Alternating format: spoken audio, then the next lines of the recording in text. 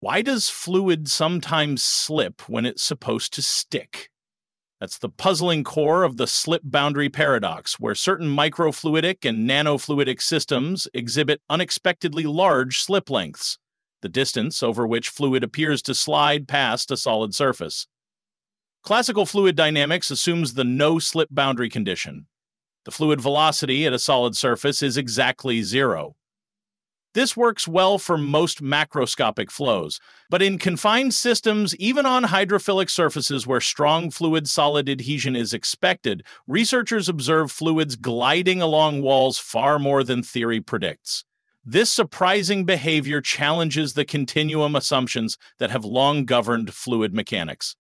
So, what causes these anomalous slips? At the nanoscale, the assumptions of smooth surfaces, uniform viscosity, and constant molecular interactions begin to break down. Factors like surface heterogeneity, nanobubbles, layered molecular ordering, or even quantum effects may contribute to a partial decoupling between the liquid and the solid. Example Water in carbon nanotubes can flow at speeds hundreds of times faster than classical models predict, suggesting almost frictionless flow. Analogy it's like expecting shoes to stick on a treadmill only to find yourself gliding effortlessly across it.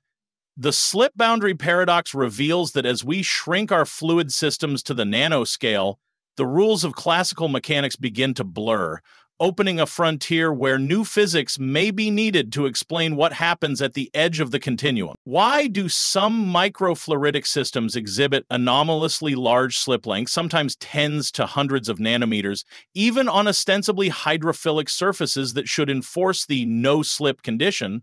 In classical continuum mechanics, the fluid velocity at a solid boundary is assumed to drop to zero, the no slip boundary condition, yet experiments in nanochannels and near ultraflat substrates often report measurable slip, challenging our foundational models of fluid solid interactions at the nanoscale. So far, so good, until we probe the assumptions underlying continuum flow.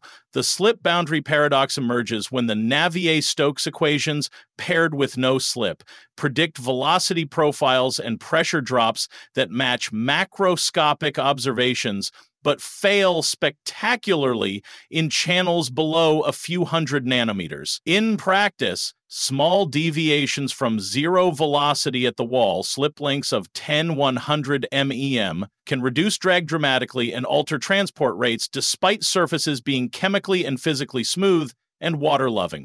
At its core, the paradox hinges on the molecular nature of the liquid solid interface. Continuum theory treats fluids as continuous media, ignoring discrete molecules, yet at nanoscales, water forms ordered layers near walls, and thermal motion allows occasional hops over energy barriers at the interface. These molecular hops effectively translate into a finite slip length when averaged over many events. The classical no slip boundary emerges only when such hops are rare or when the interfacial energy landscape is steep. Yet even molecular scale descriptions reveal hidden complexities. Experiments suggest that dissolved gas nanobubbles, subnanometer depletion layers, of reduced density or surface adsorbed contaminants can create low friction patches locally amplifying slips. Such features can form spontaneously even on hydrophilic glass or silicon, making perfectly wetting surfaces practically unattainable. Moreover, electric double layers at charged walls can modify near wall viscosity and local shear rates, further complicating the effective boundary behavior. At even finer scales, non equilibrium and viscoelastic effects emerge. In highly confined flows, water's hydrogen bond network can sustain transient elastic stresses, leading to time dependent slip or stick slip behavior. Molecular dynamics simulations show that flow induced alignment of water and surface groups can produce direction dependent slip lengths. Violating simple isotropic assumptions of continuum models, these layered anisotropic and stochastic interfacial phenomena underscore that new theoretical frameworks beyond Navier's linear slip law may be required. In essence, the slip boundary paradox spotlights the breakdown of classical boundary conditions when fluid confinement approaches molecular dimensions. It reminds us that continuum mechanics, long successful at larger scales, must be augmented by molecular insights interfacial physics, and surface chemistry to predict flow in nanofluidic devices accurately. Like other paradoxes, from hysteresis to quantum retrocausality, it challenges our deepest assumptions and invites a richer, multi scale understanding of nature's behavior. The slip boundary paradox arises when fluids in micro or nanochannels exhibit flow velocities at the wall that contradict the classical no slip boundary condition. In many experiments, measured slip lengths, extrapolated distances beyond the wall where fluid velocity would vanish, reach micrometer scales even on hydrophilic surfaces. Such anomalously large slip implies that continuum mechanics may break down or that additional interfacial physics dominates at small scales. This paradox forces a reevaluation of how fluid cell interactions operate in confined geometries. Pressure driven water flow in carbon nanotubes shows effective slip lengths of tens of nanometers despite strong water carbon affinity. It is like ice skaters gliding effortlessly over a surface that should, by friction laws, bring them to an immediate halt. The no slip condition assumes that fluid velocity relative to a solid boundary is zero, a cornerstone of classical Navier Stokes theory. Slip boundary conditions introduce a finite tangential velocity at the wall, characterized by a slip length where the extrapolated flow profile intercepts zero velocity. Large slip lengths signify that the fluid experiences less friction at the interface than predicted by continuum models. Understanding when and why slip occurs is essential for accurately modeling microscale flows. Gas flows at low pressures in microchannels often exhibit measurable slip, deviating from no slip predictions. It is like a car that continues to coast forward on a slight uphill slope, despite the expectation that friction and gravity should stop it. At the molecular level, slip arises from weak fluid solid solid interactions that allow fluid molecules near the wall to maintain finite mobility. Hydrodynamic boundary layers become molecularly thin, and interfacial potential wells may be too shallow to trap molecules completely. Thermal fluctuations can then promote jumps over these potential barriers, generating an apparent slip. Such behavior underscores the need to account for discrete molecular dynamics at interfaces. Molecular dynamic simulations show water molecules near smooth graphene surfaces have fewer hydrogen bonds, increasing mobility. It is like people sliding past each other more easily when there are fewer handholds in a crowded corridor. Nano confinement alters fluid structure and viscosity within a few molecular layers of the wall, modifying flow behavior. Van der Waals and electrostatic forces can create depletion zones or lubricating layers that reduce friction. These altered layers exhibit effective viscosities vastly different from the bulk, enabling significant slip. Consequently, the macroscopic flow profile emerges from a complex interplay of confinement and surface forces. Ionic liquids in nanopores form ordered layers with reduced shear resistance, facilitating slip at the pore walls. It is like a thin layer of air cushioning a puck on an air hockey table, allowing near frictionless movement. Surface roughness at the nanoscale can either enhance or suppress slip depending on the interplay with fluid structuring. Hydrophobic coatings tend to amplify slip by repelling water and creating vapor pockets, while hydrophilic groups increase friction but do not eliminate slip entirely, chemical heterogeneity can localize slip to specific domains, making the overall boundary behavior highly non-uniform. Tailoring surface treatments thus provides a means to control slip in microfluidic devices. Micro-patterned hydrophobic stripes on glass generate alternating regions of high and low slip, directing fluid flow. It is like walking on a floor with alternating patches of ice and carpet. Your stride length varies dramatically between regions. Apparent slip can also emerge from nonlinear flow phenomena such as shear thinning or viscoelasticity, where fluid properties change with shear rate. At high shear, near wall fluid layers may align or thin, reducing local viscosity and mimicking slip. Additionally, gas nanobubbles adhered to the surface can introduce effective slip by acting as lubricating cushions. These nonlinear effects complicate the attribution of measured slip purely to boundary condition breakdown. Polymer solutions in microchannels show increased flow rates at high shear that resemble slip behavior but stem from shear thinning. It is like driving a car whose tires inflate under speed, reducing contact with the road and giving the illusion of a frictionless ride.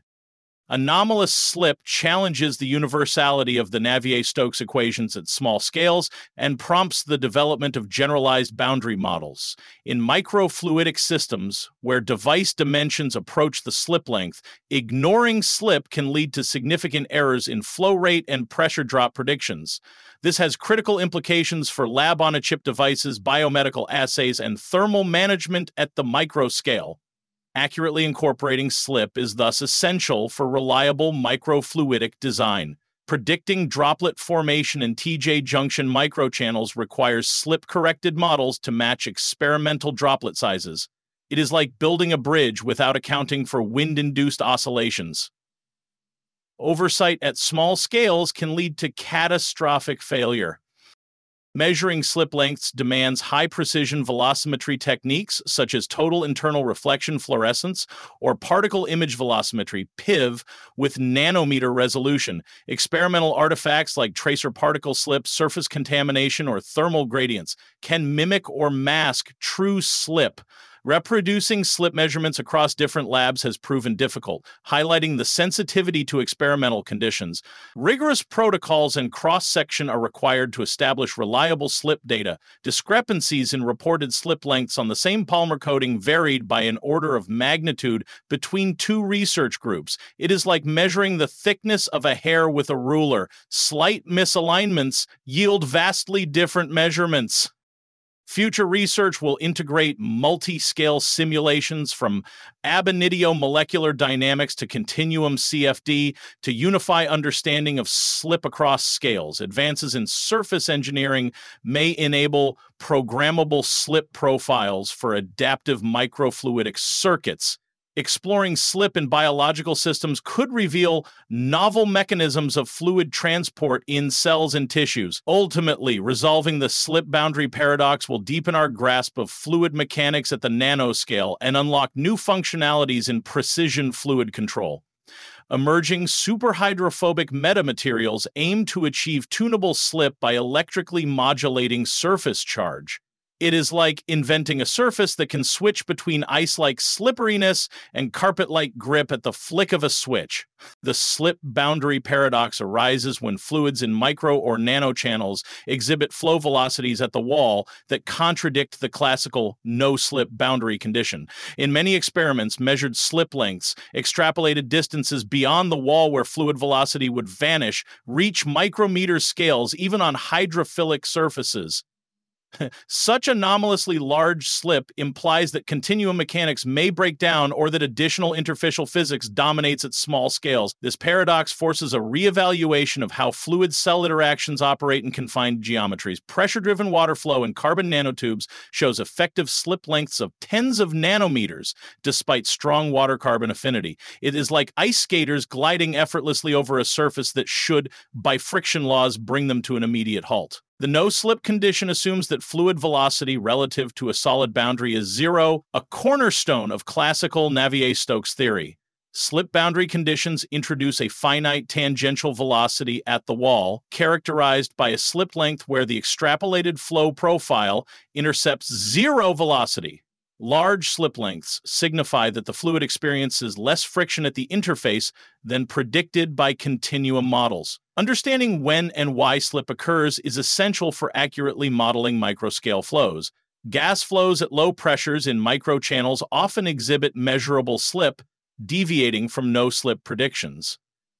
It is like a car that continues to coast forward on a slight uphill slope, despite the expectation that friction and gravity should stop it. At the molecular level, slip arises from weak fluid solid solid interactions that allow fluid molecules near the wall to maintain finite mobility. Hydrodynamic boundary layers become molecularly thin, and interfacial potential wells may be too shallow to trap molecules completely. Thermal fluctuations can then promote jumps over these potential barriers, generating an apparent slip. Such behavior underscores the need to account for discrete molecular dynamics at interfaces. Molecular dynamic simulations show water molecules near smooth graphene surfaces have fewer hydrogen bonds, increasing mobility.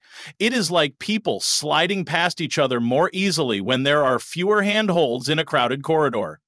Nano confinement alters fluid structure and viscosity within a few molecular layers of the wall, modifying flow behavior. Van der Waals and electrostatic forces can create depletion zones or lubricating layers that reduce friction. These altered layers exhibit effective viscosities vastly different from the bulk, enabling significant slip. Consequently, the macroscopic flow profile emerges from a complex interplay of confinement and surface forces.